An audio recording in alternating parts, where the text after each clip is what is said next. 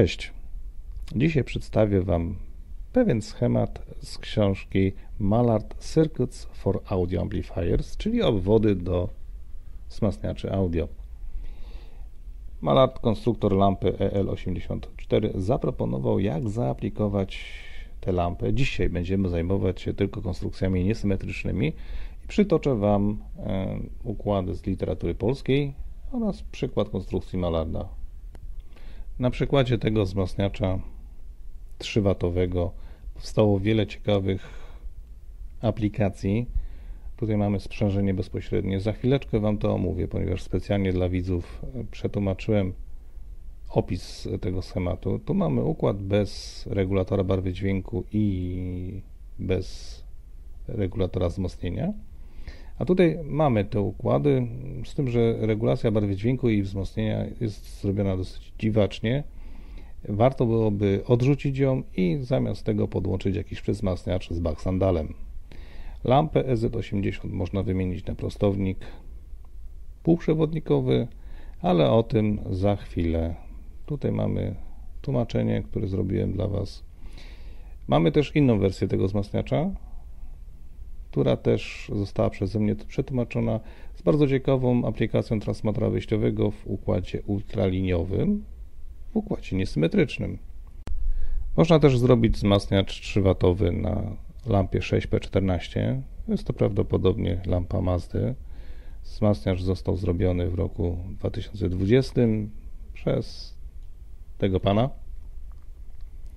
schemat tego wzmacniacza, znaczy ogólnie opis tego wzmacniacza można znaleźć tutaj pod linkiem, który widzicie tutaj, cancel, który widzicie tutaj właśnie i zapoznać się z wynikami. Można też zrobić wzmacniacz na triodzie, ale od razu mówię, że nie jest to mój ulubiony typ lampy mocy z tego względu, że trzeba wpompować taką lampę mnóstwo energii, a uzyskuje się niewielką moc wyjściową. Co prawda brzmienie jest piękne i czarujące, ale na taką lampę decydują się tylko audiofile słuchający muzyki skomplikowanej, klasycznej, wokali i jazzu. Dobrze, przejdźmy do szczegółów, ponieważ tematu jest dużo do omówienia, a nie chciałbym wydłużać filmu ponad godzinę. Niedługo, bo przygotowuję się, niedługo omówię też wzmacniacze przeciwsobne. Także zaczynamy.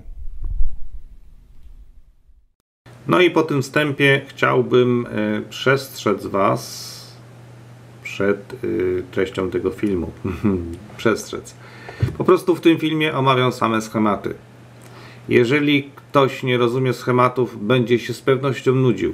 Dlatego e, zaoszczędzi swój czas, po prostu kończąc oglądanie tego filmu w tym momencie. Już zapowiadałem film ze schematami jakiś czas temu. Po prostu chcę omówić te konstrukcje, żeby pokazać Wam, że rzeczywiście wzmacniacze lampowe w układzie niesymetrycznym tak bardzo się od siebie nie różnią. A przy okazji pokażę Wam ciekawe konstrukcje. Zacznijmy od prostego wzmacniacza, e, którego schemat właśnie widzimy. Moc wyjściowa w watach wzmacniacza mocy, która jest potrzebna do realistycznego nagłośnienia normalnego salonu e, muzyką odtwarzaną z różnych źródeł, no jest przedmiotem sporów. Wielu utrzymuje, że w przypadku zwykłych głośników dynamicznych potrzeba co najmniej 10 do 20 W i autor projektu jest skłonny zgodzić się z tym poglądem. Autorem projektu jest Peter J.L. Binnes. Niemniej wyniki, które można uzyskać przy mocy wyjściowej 4 W są często zaskakujące pod warunkiem, że te 4 W są produkowane z bardzo niskimi zniekształceniami.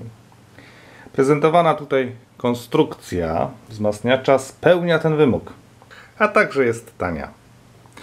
Parę takich małych wzmacniaczy e, w konfiguracji stereofonicznej używanych ze wspólnym źródłem zasilania można zbudować w porównywalnej cenie do konwencjonalnego wzmacniacza mono w technice przeciwsobnej. Przy okazji zaznaczam, że jakoś specjalnie nie promuję układów SE, z tego względu, że mają lepszą jakość dźwięku, po prostu są tanie i dlatego, dlatego można je zrobić. Natomiast osoba, która ma większą gotówkę, namawiam do robienia okładów przeciwsobnych. Omówmy sobie transformator wyjściowy. Tutaj widzimy go w tym miejscu. Dziwne, prawda? Transformator wyjściowy jest podłączony do siatki ekranującej, jak w układach ultralinear. Niechże się okaże, co tutaj autor projektu wykombinował. Jedynym elementem, od którego zależy jakość wzmacniacza, jest zwykle transformator głośnikowy. I nie zalecamy oszczędzania na tym elemencie. Do przedstawionego tutaj układu sugeruje się transformator o mocy znamionowej 10 W. Prototypowy wzmacniacz korzystał z transformatora wyjściowego przeciwsobnego o mocy 20 W na rdzeniu typu C od wzmacniacza triodowego. Jak zapewnia autor, doskonała wydajność wzmacniacza bez wątpienia jest bezpośrednio związana z transformatorem. Z pewnością wielu czytelników posiada dobrej jakości transformatory wyjściowe o mocy 10 W lub więcej, przeznaczone do pracy przeciwsobnej triod, ale bez odczepów dla siatek ekranujących do pracy ultralinear albo z obciążeniem rozproszonym. Oczywiście te transformatory z odczepami ultralinear pracują z pentodami, nie z triodami. Takie transformatory są doskonałe do opisywanego wzmacniacza, ponieważ środkowe odczepy uzwojenia pierwotnego są w przybliżeniu tutaj, położenie tego odczepu, w przybliżeniu wyprowadzone w 43% uzwojenia pierwotnego, tak jak w transformatorze do pracy ultraliniowej dla jednej lampy. Wiemy, że mamy odczep do napięcia i mamy już drugi transformator. Układzie niesymetrycznym odczep ultralinear preferowany jest właśnie w 43% całego uzwojenia. Konstruktor wzmacniacza użył prototypowego modelu w bezpośrednim porównaniu z ultraliniową konstrukcją Malarda 20 W, która wykorzystywała lampy w pracy przeciwsobnej lampy KT66 i oferowała zniekształcenia na poziomie 0,05% i współczynnik tłumienia 50. Testy przeprowadzono w pomieszczeniu o wymiarach 5,4 m na 3,6 m i 3 m wysokim. Przy pełnej, realistycznej głośności odsłuchu mały wzmacniacz był prawie nie do odróżnienia od większego, gdy oba pracowały z dużym systemem trzech głośników, znaczy z kolumnami trójdrożnymi. Wybaczcie archaiczny język, no ale jest to tłumaczenie. W wyjątkowo trudnych pasażach, np. muzyki organowej, czasem brakowało w głębokim basie klarowności, którą zapewniała 20W konstrukcja, ale to było na poziomie głośności, którą organista określił jako przesadny. Wniosek: panowie podłączyli organy elektroniczne do wzmacniacza i testowali. Po zapoznaniu się ze schematem, czytelnik może stwierdzić, że jest on dość konwencjonalny. Niskoszumna pentoda EF86 lampa V1 jest sprzężona przez obwód RC ze stopniem wyjściowym na lampie EL84, czyli lampie V2. Przy tym siatka ekranująca lampy podłączona jest do odczepu transformatora głośnikowego. Zapewniamy tutaj pracę ultraliniową. Ujemne sprzężenie zwrotne wyprowadzone z wtórnego obwodu transformatora głośnikowego jest poprowadzone na katodę lampy V1. Katody obu lamp są zwierane kondensatorami do masy w celu uzyskania jak największego wzmocnienia całkowitego. Chodzi o zwieranie przebiegów przemiennych. W zasilaczu zastosowano prostownik pełnookresowy a dławik, tu dławik wygładzający, służy do minimalizacji szumu bez konieczności zwiększania pojemności filtrów w zasilaczu. Filtr EC zastosowany w zasilaczu też pozwala na uzyskanie dobrych wyników y, wygładzania tętnień, czyli gdybyśmy tutaj zastosowali rezystor. Przewidziano możliwość zastosowania lampowego tunera UKF, jak i przedwzmacniacza i wyprowadzono do nich odpowiednie napięcia. Jeżeli nie chcemy stosować dodatkowych urządzeń, możemy zmniejszyć transformator sieciowy. Przy wartościach elementów podanych na liście części uzyskano czułość 200 mV dla mocy wyjściowej 4 W. Mamy jeszcze schemat rozmieszczenia elementów i zobaczmy sobie jak panowie tutaj to zaplanowali. To jest pudełko drewniane bez wieczka i bez denka i lampa V1 jest zamontowana pionowo na małym aluminiowym sporniku, na którym również umieszczono kondensator C1. Lampa V2 zamontowana jest poniżej VR2. Ten VR2 służy do tutaj widzicie do redukcji brumu to jest zamontowane na aluminiowym sporniku, który jest umieszczony między transformatorem wyjściowym a dławikiem. Tutaj jest przymocowany ten spornik aluminiowy i na tym zamocowane jest gniazdo. C4 nie pokazano, bo znajduje się poniżej C2 i C5, czyli pod tymi spornikami. Jest kondensatorem sprzęgającym. Nie zastosowano konwencjonalnej metalowej ramy jako konstrukcji nośnej. Tutaj jest prostokątna drewniana obudowa, otwarta od dołu i od góry, w roli elementu konstrukcyjnego, czyli ta kreska dookoła, którą tu widzimy. Na tylnej ściance umieszczono trzy ciężkie elementy, to są te transformatory i dławik. Tutaj jest niewielka przerwa między transformatorem wyjściowym a dławikiem na zamontowanie gniazda sieciowego oraz gniazda do głośników. Prostownik e, jest również montowany poziomo. Prostownik to lampa V3 z podstawką przymocowaną do drewnianej obudowy za pomocą kołków dystansowych. Żeby tutaj zapewnić odpowiednie montaż okablowania, zaleca się przed przykręceniem tej podstawki do obudowy montaż, przylutowanie kabli, przewodów, a potem dopiero montaż lampy do obudowy. Lampa tutaj e, spokojnie wejdzie, ma też przestrzeń na to, żeby oddawać ciepło do otoczenia.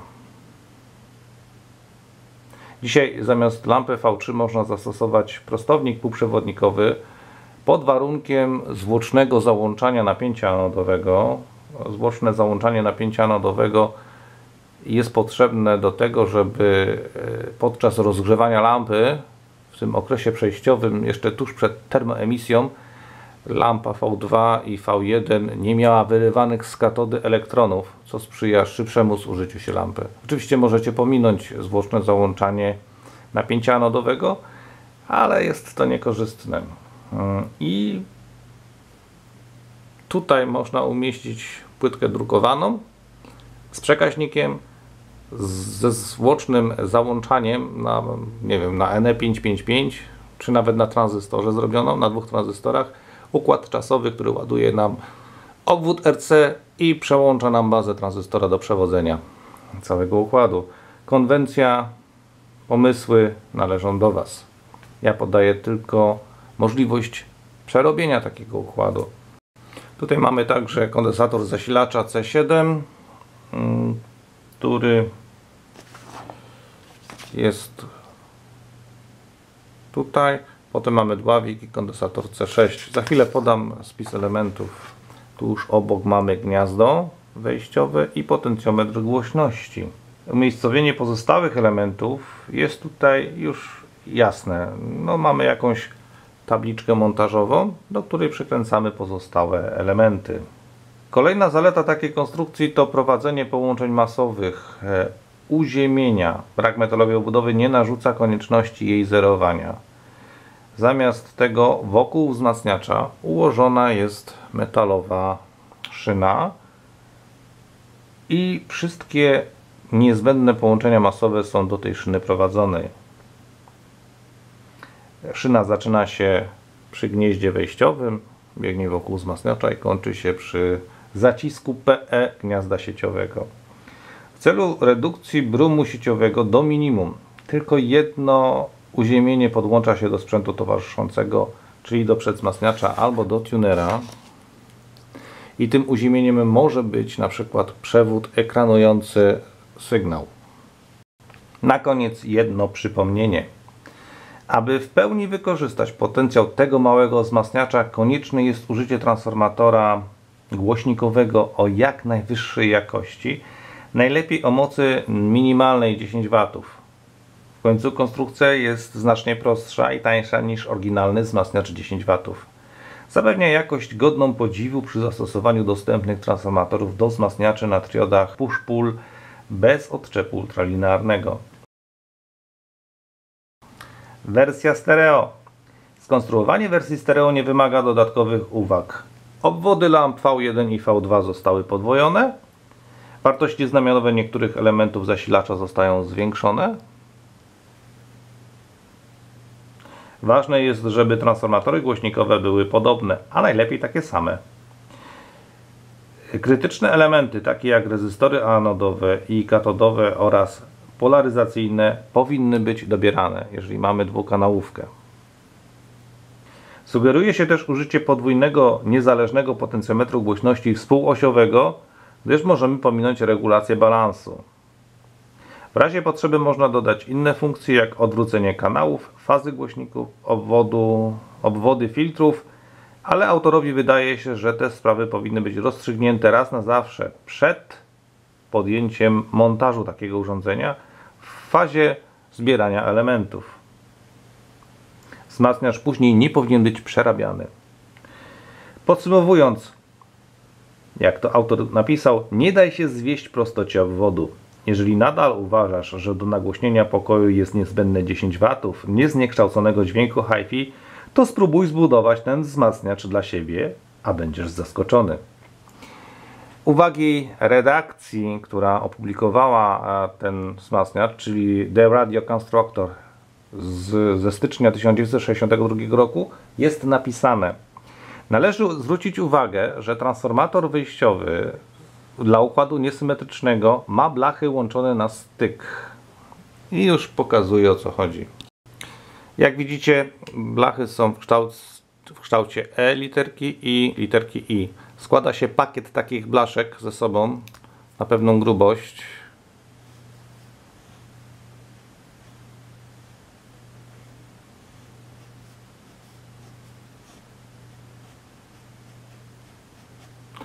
I do tego dokłada się blaszki w kształcie literki I,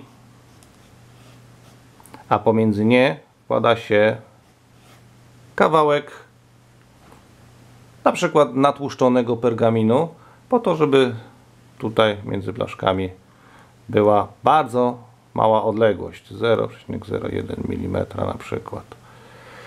Y, co redakcja napisała? Należy zwrócić uwagę, że transformatory wyjściowe SE zwykle mają blachy łączone na styk. Wszystkie blachy E z jednej i z drugiej strony. Z przerwą między tymi blaszkami w miejscu styku. Przerywa to obwody magnetyczne. Chodzi o zapobieganiu nasycenia się rdzenia transformatora pod wpływem prądu spoczynkowego. Przez rdzeń przez cały czas płynie prąd. Przez uzwojenie ono wywołuje nasycenie rdzenia. Transformator do pracy przeciwsobnej ma blachy przeplatane. I już mówię o co chodzi. Blacha przeplatana. Pierwsza warstwa jest położona w ten sposób, a druga warstwa na tej warstwie jest położona w ten sposób. I, I z tej strony. I to tak na przemian się kładzie. Ponieważ prądy spoczynkowe lamp w układzie przeciwsobnych się znoszą, nie występuje nasycenie rdzenia. Fakt ten wymusza zastosowanie dużego transformatora przeciwsobnego do omawianego tutaj układu niesymetrycznego. Przekładnia transformatora wyjściowa jest eksperymentalna, ale sugerowalibyśmy obciążenie anody około 4 do 5 kΩ. Tutaj 4-5 kg na uzwojeniu pierwotnym. Omówmy sobie co mamy na schemacie. Wszystkie rezystory wata za wyjątkiem wyszczególnionych. I teraz tak, jadąc po kolei 1 mega R1, 1 mega R2, R3 10 kg 1 W, R4 330 kg, R5 2,2 kg, R6 47 ohmów, R7 470 kg, R8 150 ohmów, R9 4,7 kg. Kondensatory C1 pół mikrofarada. Wszystkie kondensatory generalnie powinny być na napięcie około 350 V, jeżeli chodzi o kondensatory papierowe, 450 V, jeżeli chodzi o kondensatory elektrolityczne. Więc wracając, pół mikrofarada C1, 50 mikrofaradów C2, ale tu mamy wyjątek na 12 V, C3 16 mikrofaradów na 450 V, C4 100 nano na 350 V, C5 50 mikron 25 V, C6 16 mikron na 450 V, C7 8 mikron na 450 V, pozostałe elementy EF86, EL84, 5Z4 albo chyba EL, EZ80 może tutaj także być. Dławik 20 hendrów przy 60 mA i to chyba generalnie wszystko. Tutaj mamy 4 do 5 kg. Taki transformator trzeba by poszukać. Jest transformator do triod przeciwsobny i to, to uzwojenie tutaj powinno mieć od 4 do 5 kg, a tutaj możemy przekładnie sobie wybrać do 4 lub 8 ohmów, w zależności od tego co znajdziemy. I generalnie można powiedzieć, że to jest wszystko na temat tego wzmacniacza. To jest typowy projekt e, z katalogu Mularda, czy Malarda. I zobaczmy, co nam Philips proponował. Obwód opisany w tym rozdziale został opracowany, żeby sprostać zapotrzebowaniu na prosty wzmacniacz o dość wysokiej jakości. I z tego co kojarzę, to pan Masewicz zrobił ten sam układ w swojej książce. Wiele się nie pomyliłem, strona 308, identyczny układ. Tu na dole mamy też wzmacniacz o mocy 3 W. Pokażę Wam go na końcu. Ten wzmacniacz, tutaj co widzicie, jest zasilany prądem przemiennym sieci zasilającej wykorzystując trzy lampy Malarda EF86, EL84 i EZ80. Trzy lampki. Obwód przedstawiony na rysunku 1, czyli ten, który akurat widzicie, obejmuje trzy regulatory głośności RV1, na soprany mamy RV2 i na basy mamy RV11 tutaj. Zmodyfikowaną wersję tego układu pozwalającą na współpracę wzmacniacza z przezmacniaczem lub sprzęcie stereofonicznym pokazano na tym rysunku. Tej wersji pominięto trzy elementy sterujące. A pętla sprzężenia zwrotnego, tutaj to jest pętla sprzężenia zwrotnego, została tutaj uproszczona. Stosunkowo wysoka czułość wzmacniacza 100 mV dla 3 W pozwala na użycie wszystkich typów głowic kryształkowych gramofonów i w razie potrzeby na zastosowanie układu korektora pomiędzy głowicą a wzmacniaczem. Chodzi o magnetofony bez przedwzmacniaczy. Czyli typowo konstrukcja z tamtych lat, gdzie magnetofon miał tylko głowicę odtwarzającą. Zaciski wyjściowe są odpowiednie dla prawie wszystkich rodzajów głośników, ale obwód zaprojektowany jest tak, aby maksymalnie efektywnie wykorzystywać pojedynczą lampę mocy. Najlepsze wyniki można osiągnąć tylko wtedy, gdy stosuje się głośniki o wysokiej jakości. Dobrze, z powodu znacznych zniekształceń w stopniach niesymetrycznych występujących z natury przy potrzebie wytworzenia wysokiej mocy o akceptowalnej jakości, jest niezbędne zastosowanie ujemnego sprzężenia zwrotnego. Obejmuje ono stopień wyjściowy. Jednocześnie wymagana jest ogólna czułość wejściowa 100 mV, jeżeli wzmacniacz ma być przystosowany do współpracy z dowolnym typem przetwornika krystalicznego dla gramofonu. Należy również pamiętać o tłumieniu wynikającym z zastosowania pasywnego filtra RC do korekcji charakterystyki ze źródła. I teraz yy, tłumaczy to, dlaczego jest tu użyta lampa EF86. Potrzeba była zastosowania lampy, która da nam duże wzmocnienie.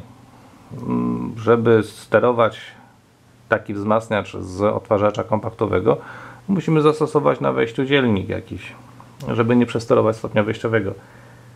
To już taka wskazówka dla, dla osoby, która chciałaby ten wzmacniacz e, skopiować. Podstawowa czułość układu bez sprzężenia zwrotnego winna wynosić około 10 mV, żeby można było uzyskać pożądany poziom sprzężenia zwrotnego około 20 dB. Czyli ta pętla tu redukuje nam wzmocnienie o 20 dB. Biorąc pod uwagę stabilność, ujemne sprzężenie zwrotne powinno obejmować jak najmniejszą liczbę bloków urządzenia. No tu mamy akurat tylko dwa bloki urządzenia, pomijamy ten cały wstęp. EF86 pracuje tutaj jako wzmacniacz w trybie pracy, który z angielska zwie się Starvation Operation. Tak dosłowne tłumaczenie to jest tryb pracy głodowej. No ja nie znalazłem dobrego określenia po polsku. A chodzi o to, że lampa pracuje przy niskim napięciu anodowym. No więc zobaczmy.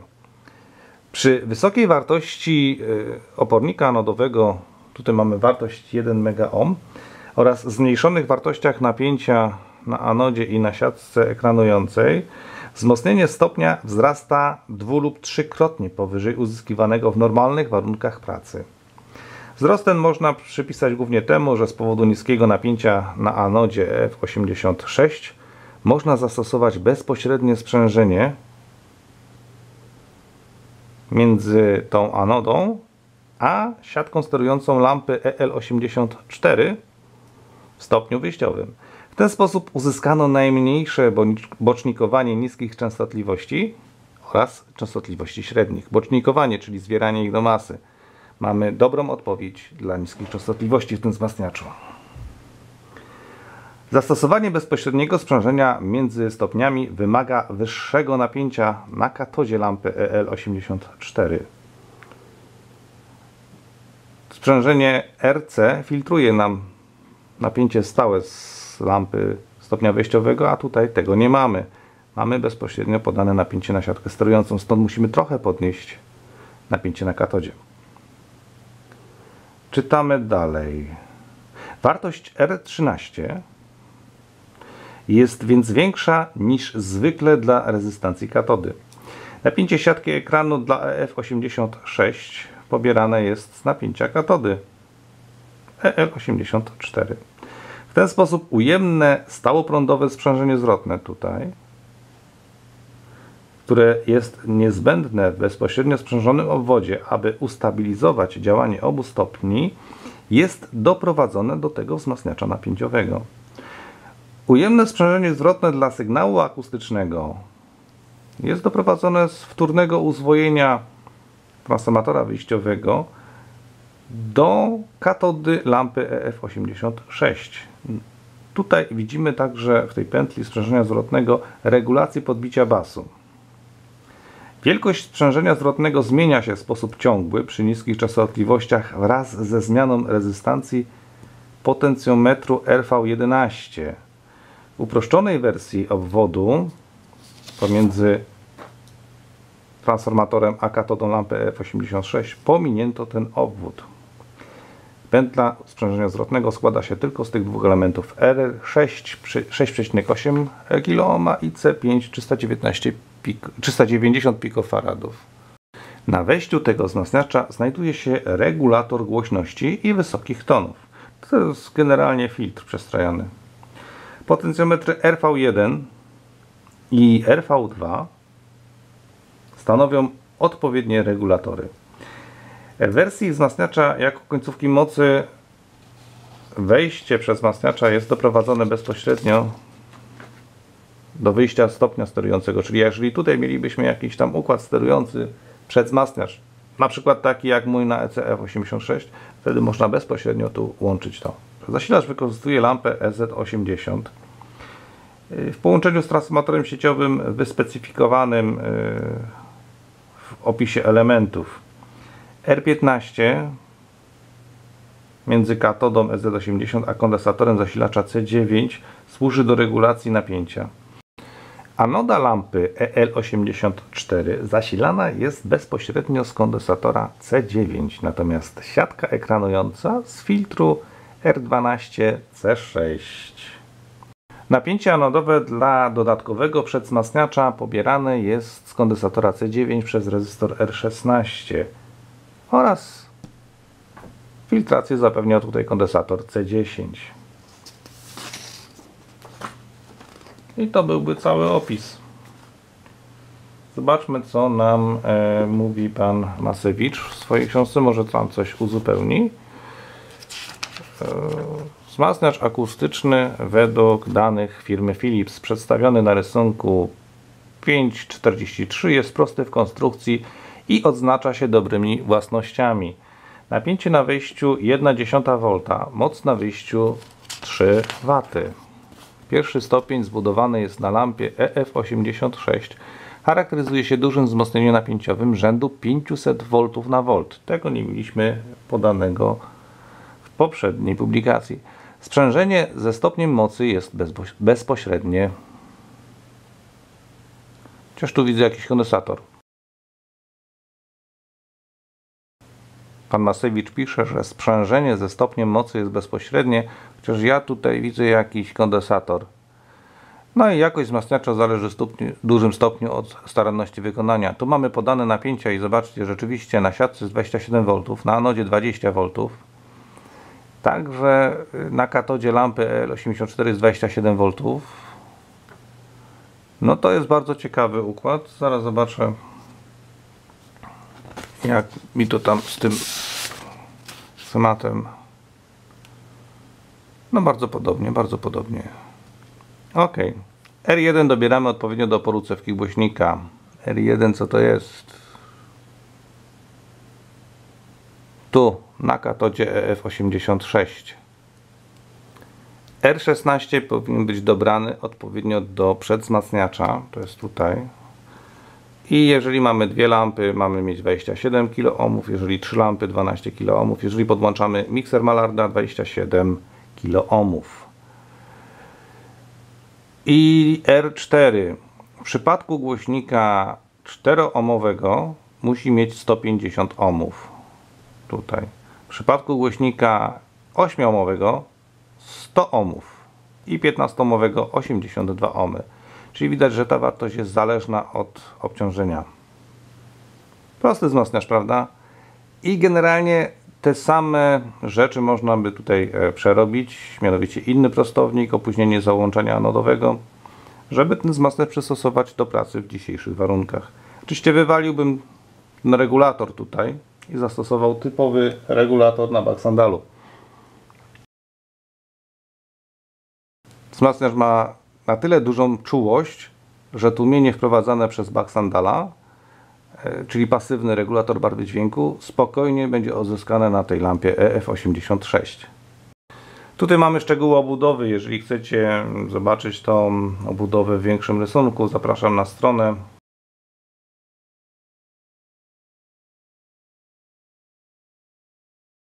Do wersji bez sterowania otwory na potencymetry tutaj nie będą wymagane. E, podstawę można wyciąć z jednego kawałka blachy aluminiowej o znaczeniu 16 SWG o długości 30,5 30 cm i szerokości 25,5 cm. Dolna osłona tego wzmacniacza nie jest konieczna, chociaż ja osobiście jako autor tego kanału zalecam Wam montaż yy, od dołu jakiejś osłony, może być nawet z drewna czy płyty wiórowej ze względu na bezpieczeństwo Wasze. Wezmę, znaczy występuje wysokie napięcie i jest ono niebezpieczne dla zdrowia i życia. Chcąc wykonać wzmacniacz wersji stereofonicznej, trzeba zrobić dwa takie układy. I po prostu postawić je obok siebie. Tak zwane monobloki. Odpowiednie rozmieszczenie wzmacniaczu wraz z elementami sterującymi pokazano na rysunku. Tutaj macie rozmieszczenie elementów na płytce montażowej. Możecie po prostu albo zajrzeć na stronę, albo zrobić sobie zrzut ekranu. Tutaj mamy też otwory w obudowie. To przetłumaczyłem, ale te obudowy, otwory w obudowie no, trzeba wykonać do tego, jakie macie części, które zakupiliście, ponieważ one mają no, ponad 50 lat. Te, te tutaj e, elementy były proponowane 50 lat temu. Dobrze, mm, zwróćmy uwagę na to, jak to jest zrobione. Z tyłu tutaj gniazdo sieciowe, bezpiecznik, gniazdo zasilania do przezmasniacza. Oczywiście nie trzeba tego robić. Gniazdo głośnikowe, transformator głośnikowy, transformator zasilający, przewód do łącznika sieciowego, do uzwojenia pierwotnego T1. Ta płytka, którą Wam przed chwilą pokazywałem, tutaj jest do uzwojenia wtórnego transformatora pierwszego, uzwojenie wtórne transformatora drugiego, mm, do selektora napięć, do odczepu plus 10 po stronie pierwotnej T2. Obudowy potencjometrów powinny być połączone z podstawą, chodzi o uziemienie. Włącznik sieciowy, regulator basu, regulator sopranu, regulator wzmocnienia. To wszystko możecie zobaczyć sobie na stronce e, z opisem tego wzmacniacza.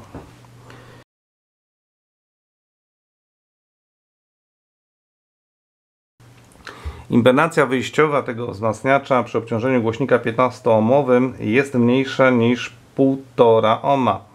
Daje to odpowiedni współczynnik tłumienia powyżej 10.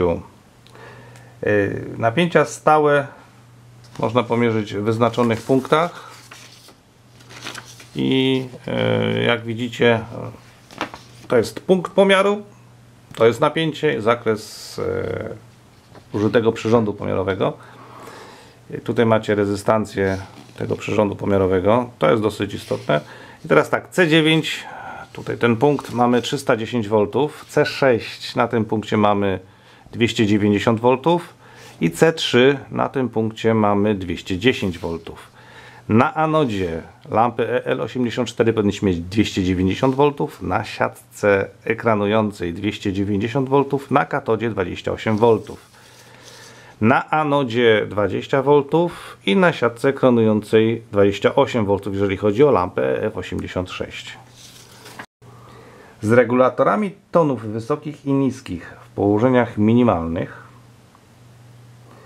lub w obwodzie bez regulacji pasmo przenoszenia jest zasadniczo płaskie w zakresie od 35 Hz do 30 kHz. Zobaczcie jakie szerokie pasmo ma ten wzmacniacz. Przy starannym doborze odpowiednich elementów pasywnych dostępne jest obniżenie tonów wysokich o 20 dB przy 10 kHz. Tutaj to jest ta regulacja E, podbicie basów uzyskuje się przez redukcję głównego sprzężenia zwrotnego przy niskich częstotliwościach za pomocą potencjometru RV11. Ja to przed chwilą Wam to pokazywałem. To jest ten obwód. To jest regulacja wysokich, a tu jest regulacja niskich.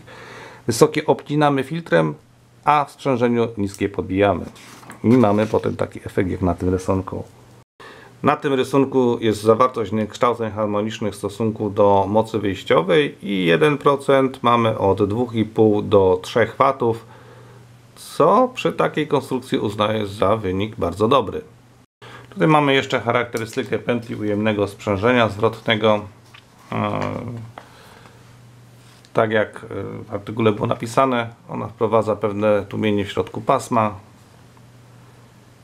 No i co jeszcze? No wykaz elementów by się przydał poznać.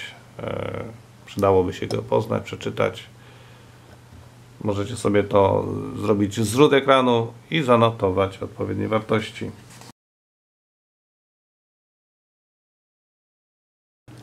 Ze względu na czas powstania projektu, wymienione w opisie Malarda elementy mogą być dzisiaj niedostępne. Korzystając z nowoczesnej produkcji należy nieco dopasować podstawę czy tam obudowę chassis wzmacniacza do pozyskanych elementów i komponentów. Ich wymienianie tutaj e, w związku z tym no, nie miało dużego sensu, no, ale stosunku do tej obudowy no, były odniesienia, więc zrobiłem e, tą tabelę. Transformator głośnikowy można wybrać z polskiej oferty. TG5 przez 4897. Jest to transformator dla lampy EL84 CZA. TGL 5 przez 001 też transformator dla lampy EL84 jest on Indela. Można też wybrać e, transformator na rdzeniu amorficznym Ogonowskiego i jest to LO SE15 2 przez 1 przez AM albo LO SE20 1. Można też wybrać transformator uniwersalny do obwodów niesymetrycznych. Jest to transformator Hammonda 125 CSE. Trzeba tylko sprawdzić w karcie produktu połączenia dla impedancji 5 kΩ. Transformator zasilający z dostępnych na rynku tutaj do zasilania z lampą prostowniczą EZ80 to TSL 100 przez 001. Transformator sieciowy Indel, ale jego moc to 100 W, więc to jest nieco za dużo jak na ten wzmacniacz. Dostępny jest także 291 AEX Hammonda o napięciu 325 0 325 V lub 275 0 i 275 V właśnie tutaj do tych połączeń. Napięcie żarzenia jest dla prostownika 5V, więc trzeba by zmienić lampę tutaj na taką, która ma odpowiednie żarzenie. Nie ma problemu, żeby przerobić zasilacz na to, żeby dostosować e, go do prostownika półprzewodnikowego. Pamiętajmy o tym zwłocznym napięciu anodowym. Mm, a jakie napięcie tutaj powinniśmy mieć? No to już mogę Was zaprosić do specjalnego filmu o zasilaniu wzmacniaczy lampowych. Taki film zrobiłem w trzech częściach u mnie na kanale. Łatwo wytłumaczyłem, jak prostownik zrobić, mm, żeby razem z filtrem, żeby tutaj w tym miejscu uzyskać napięcie 310 V. Jak dobrać transformator, jak policzyć przez prostownik, żeby to było 310 V. Zapraszam do tamtych filmów. W ogóle na moim kanale jest dużo filmów na temat lamp lampowych e, i warto przebrnąć przez nie. Jeszcze jeden wzmacniacz chciałem Wam zaprezentować. HFS20. Tutaj jest jego schemat.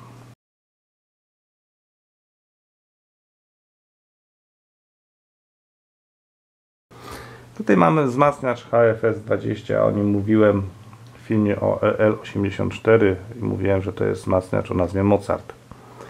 Jest to też bardzo ciekawy wzmacniacz, e, jeżeli chodzi o stopień mocy. Mówmy sobie po kolei, jak płynie tutaj sygnał. Sygnał sterujący z przesmacniacza tego, za chwilę o tym będę mówił. Sygnał sterujący wpływa nam na siatkę sterującą lampy ECC83. Napięcie, zmieniające się napięcie na tej e, siatce tutaj, steruje nam prądem przepływającym w tym obwodzie spadek napięcia na tym rezystorze jest proporcjonalny do zmiany napięcia na siatce sterującej, tylko odwrócony w fazie. Idzie nam to przez kondensator 500 nano na siatkę kolejnego stopnia, siatkę sterującą. Identyczny sposób produkowany jest spadek napięcia na tym rezystorze, ale zwróćmy uwagę, że katoda tej lampy przez uzwojenie wtórne jest podłączona do masy, bo mamy na tym odczepie common, to jest masa, czy common, nie wiem jak to się czyta. Stawmy angielski spokoju. Jak widzicie tutaj jest połączenie masowe. Uzwojenie wtórne stanowi ujemne sprzężenie zwrotne i trafia to na katodę tej lampy. Prąd sobie płynie dalej, sterowany napięciem na siatce sterującej i przepływa nam przez ten rezystor, produkuje nam pewną moc potrzebną do wysterowania lampy EL84. Lampa EL84 siatkę ekranującą ma podłączoną standardowo, ale punktem odniesienia jest ten potencjał na katodzie lampy sterującej. Jak widzicie, tutaj jest podłączone Tu mamy kropkę, tu mamy obejście, obejście, obejście, czyli to nie są punkty łączone. Tutaj jest łączenie i tu jest łączenie. W katodzie mamy rezystor 150 ohmów i kondensator 200 mikrofaradów, które przez uzwojenie wtórne łączone są z masą. Taki wzmacniacz kiedyś zrobiłem z wykorzystaniem transformatora e, TG5 chyba on się tam nazywał. Tylko, że ten transformator ma dwa uzwojenia wtórne o tej samej liczbie zwojów. I jedno uzwojenie wykorzystałem do zasilania głośnika, a drugie właśnie do takiej pętli sprzężenia zwrotnego. I przypomnijcie sobie Sansui AU70. Czyż tam nie było podobnie zrobione? Tak, tam tylko, że tam był układ przeciwsobny, a tutaj mamy układ niesymetryczny. Dlatego mówiłem Wam, że ten wzmacniacz jest ciekawy. To oczywiście jest zasilacz. E, jak ktoś będzie zainteresowany tym wzmacniaczem, ja zrobię zrzut ekranu. E, znaczy ja zrobię planszę i będzie można zrobić zrzut ekranu, żeby sobie w spokoju przeanalizować, jak ten wzmacniacz e, wygląda i spróbować go skopiować. Gdyż naprawdę jest to ciekawy wzmacniacz. Moje doświadczenie sprzed lat niestety nie wyszło mi, bo być może dlatego, że stosowałem osobne uzwojenia wtórne a może miałem nieodpowiednią liczbę, nieodpowiednią przekładnię transformatora, żeby potraktować go w taki sposób, jak tutaj na tym schemacie. Jest to wyzwanie na jakiś temat w przyszłości. Być może skuszę się kiedyś na e, skopiowanie takiego wzmacniacza właśnie z użyciem tych naszych polskich transformatorów albo na winę nowy. Zobaczmy jaki jest przedwzmacniacz. Przedwzmacniacz to typowy selektor wejściowy. Z tyle, że selektor wejściowy jeszcze przełącza nam pętlę sprzężenia, jak widzicie tu przez te elementy. Dlatego y, no jest to układ korekcyjny także dla magnetofonu. Tu mamy magnetofon, radio i głowicę, y, wkładkę gramofonową, tak zwany pick-up. To idzie nam na siatkę sterującą lampy stopnia y, wejściowego z anody mamy wejście na układ regulacji barwy dźwięku, który pracuje nam w ujemnym sprzężeniu zwrotnym. Sygnał z anody jest podawany na ten układ i to pracuje nam w ujemnym sprzężeniu zwrotnym. Sygnał generowany z anody lampy drugiej identyczny sposób jak we wzmacniaczu, bo wiem, prąd płynie sobie tak, bo to katoda emituje elektrony, odwrotnie niż zazwyczaj się to zaznacza na schematach i sygnał jest wysyłany na y, gniazdo wyjściowe, gdzie jest to. Mamy zasilanie. A tu mamy e, regulator wzmocnienia i tu idziemy na styk gniazda wyjściowego. Specjalnie dla Was tego Mozarta przerysowałem. Mm, to jest y, to samo co to tylko trochę inaczej trochę bardziej nowocześnie. Zajęło mi to godzinkę to jest te same rzeczy, które Wam przed chwilą pokazywałem. Pomyliłem się, bo to nie jest lampa EL84, tylko EL34. Zwróćcie uwagę, że ten wzmacniacz jest tak ciekawie skonstruowany, że mamy pętlę sprzężenia zwrotnego na tą triodę, to jest połówka ECC83, która idzie nam przez transformator. I mamy także drugie sprzężenie zwrotne przez te elementy, z katody odwrócenie fazy na siatkę i na katodę tutaj lampy sterującej wstępnej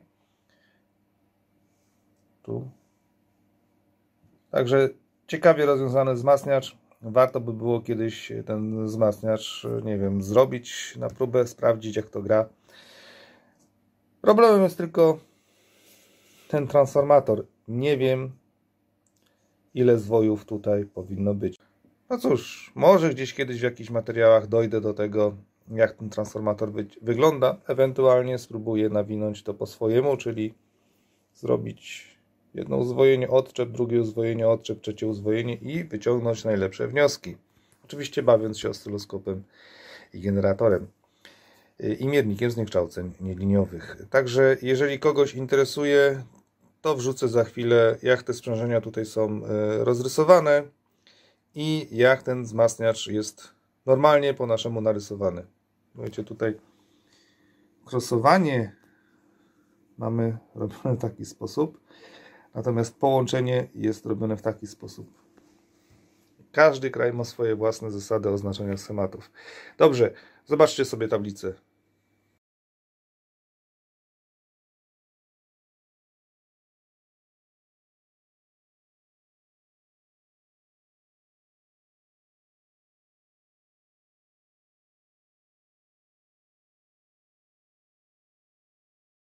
Wzmacniacz mocy 3 W na lampie 6N2P i 6P14P. Odpowiednikami tych lamp są ECC83 i L84. Mówię odpowiednikami, to nie są identyczne lampy. Wzmacniacz ten o mocy wyjściowej 3 W przy współczynniku zawartości harmonicznych nie przekraczającym 1,5% ma regulowaną charakterystykę częstotliwościową. Do regulacji charakterystyki służą dwa potencjometry na wejściu, tutaj w tym obwodzie. Za pomocą potencjometru o oporze 1 mega tym można wyregulować charakterystykę w zakresie większych częstotliwości, a za pomocą 4,7 mega w zakresie małych częstotliwości. Wiem, że dzisiaj takie rezystory, potencjometry są niedostępne.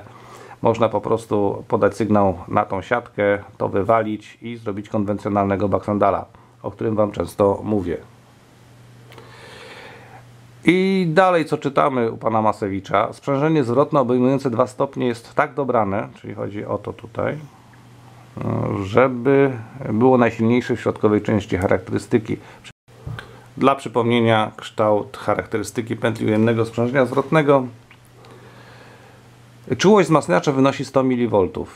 Dlatego uważam, że na wejściu Baxandal, e, czyli James, jak tam woli go nazywać, w zupełności wystarczy, bo on nam mm, wprowadzi tłumienie dla całości, a czułość jest 100 mV, więc będzie dobrze.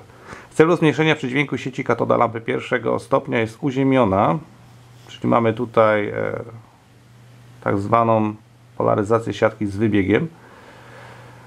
Ujemne napięcie uzyskuje się dzięki spadkowi napięcia na oporniku 7,5 MΩ. Niestety ma to pewną wadę, ponieważ wszystko z otoczenia to to zbiera. Transformator wyjściowy wzmacniacza dla głośnika o oporze 4 ohmy może być wykonany na rdzeniu płaszczowym przekroju 16 na 16 mm. Czy ja tego nie czytałem? Uzwojenie pierwotne ma wtedy 3800 zwojów drutu o średnicy 0,15 mm, uzwojenie wtórne 165 zwojów drutu o średnicy 0,65 mm.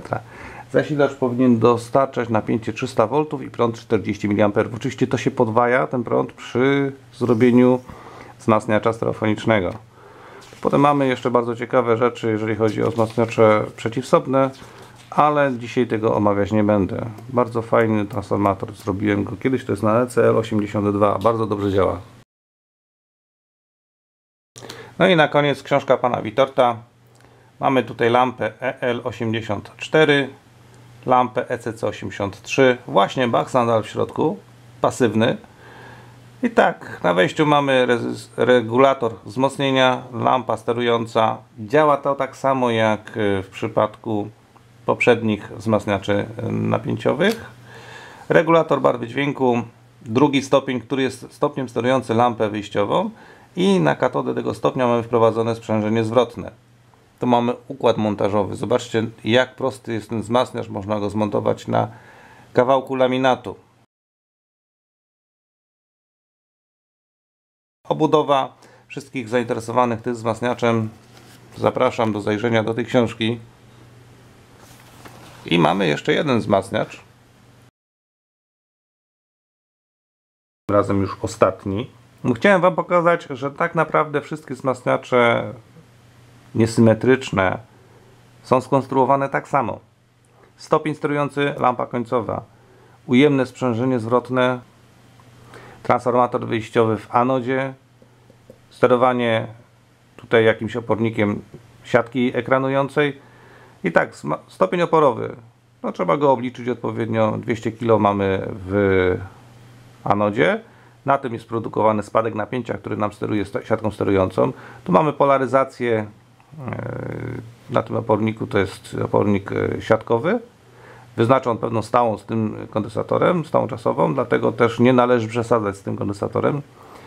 Tu mamy rezystor katodowy, który tworzy pewne napięcie na katodzie i dzięki temu na siatce mamy napięcie mniejsze aniżeli na katodzie. Ponieważ nie płynie prąd siatki, to nawet na wartości 470 czy 500 kOhmów nie wytworzy się e, jakiś tam duży spadek napięcia. Po prostu tu są mikro, mikro, mikro ampery, bo prawie wcale ten prąd nie płynie. Za to na katodzie płynie dosyć porządny, więc mamy tutaj plus 7 V. To są tak proste układy, że naprawdę może to zmontować każdy z Was. A ten wzmacniacz jest na tyle ciekawy, że można go zmostkować. I przykłady mostkowania tego wzmacniacza, żeby uzyskać większą moc, na przykład 8 W, pokazano tutaj. Czyli to już jest mostkowanie równoległe. Także na tym zakończymy, jeżeli chodzi o przykłady wzmacniaczy niesymetrycznych z polskiej i zagranicznej literatury. Dlaczego Wam to pokazałem? Pokazałem, pokazałem to tylko dlatego, żeby Wam uzmysłowić, że konstruowanie wzmacniaczy niesymetrycznych jest bardzo proste. To są banalne konstrukcje. Trzeba tylko zadbać o odpowiednie transformatory wyjściowe. Tak jak mówiłem, transformator wyjściowy musi mieć przekładkę, żeby się nie nasycił. Układy przeciwsobne omówimy sobie innym razem. Mm, myślę, że wzmacniacz Mozart jest na tyle ciekawy z tym sprzężeniem, bo to w sobie jakiś tam kład jest, nie? Z tym przężeniem przez transformator na katodę. Jest na tyle ciekawy, że można go kiedyś zmontować, a dla bojących się takich wyzwań no polecam typowy mulardowski wzmacniacz z lampą EF86. Przy okazji, ja wiem, że dla audiofila pentoda w stopniu wyjściowym jest yy, nieporozumieniem, ale wzmacniacze z pentodą w stopniu wyjściowym, jak na przykład Skody 299 grają bardzo dobrze. Chociażby proponowany ostatnio jako wzmacniacz idealny e, na kanale reduktora szumów przez pana Krzysztofa Sansui także ma pentodę w stopniu sterującym. Nie trzeba się tego bać. Trzeba to sprawdzić, ocenić na własne ucho, a potem dopiero powtarzać, że takie rzeczy są możliwe i takie rzeczy źle albo dobrze grają. Ogólnie polecam Wam ten podręcznik, e, ponieważ omówiono w nim bardzo wiele ciekawych właściwości wzmacniaczy. To by było na tyle ze wzmacniaczami typu SE. Mój wzmacniacz typu SE jest e, w produkcji.